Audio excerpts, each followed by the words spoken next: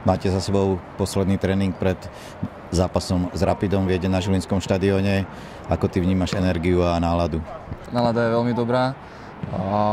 V kabíne aj vonku na ihrisku je cítiť energiu zo všetkých strán a myslím si, že, že sme na dobrej vlne.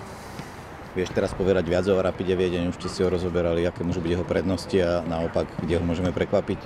Hej, rozoberali sme to včera trošku a myslím, že to je veľmi kvalitné mužstvo, sú dobrí na lopte, sú, sú veľmi taktickí a snažia sa to hrať e, cez, cez krydelné priestory, otvárajú to krany e, obrancovia a jedine zatiaľ, čo sme si povedali, tak je, že budeme strať na také rýchlejšie protiútoky po tých stranách. Nie je tajomstvom, že ale s Trenčín sa pomaly lúčiš, ale máš ešte pred sebou jeden veľký cieľ, o to viac do toho chceš dať? Samozrejme, áno, toto bol, bol náš cieľ postúpiť do, do skupinovej fázy, či už európskej alebo tej e, Ligy majstrov a chcem dať do toho 100%. Máte za sebou predzápasový tréning pred prvým stretnutím proti Rapidu Viedeň. Ako si ho vnímal, aká bola nálada a energia? Tak energia myslím si, že bola veľmi dobrá. E, na chalánov vidieť odhodlanie na nás všetkých a určite aj takú vieru v to, že to môžeme dokázať a určite ten tréning mal dnes kvalitu a každý bol eh, dnes eh, sústredený na to, čo má robiť a myslím si, že zajtra to bude dobré. Štadión veľmi dobre poznáš, orientácia tu musí byť perfektná. Zajtra, ak dostaneš príležitosť, predáš to?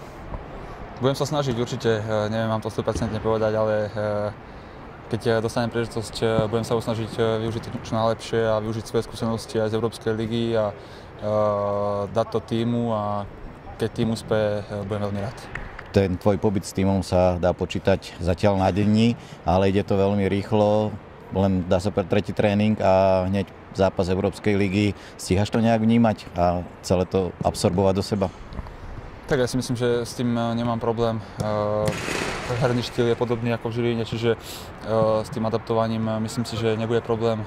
Určite to je také dosť rýchle, tri tréningy a zápas, ale ja budem pripravený na 100% a urobím pre manšaft všetko, čo bude môj silách. Vieš niečo viac povedať o Rapide?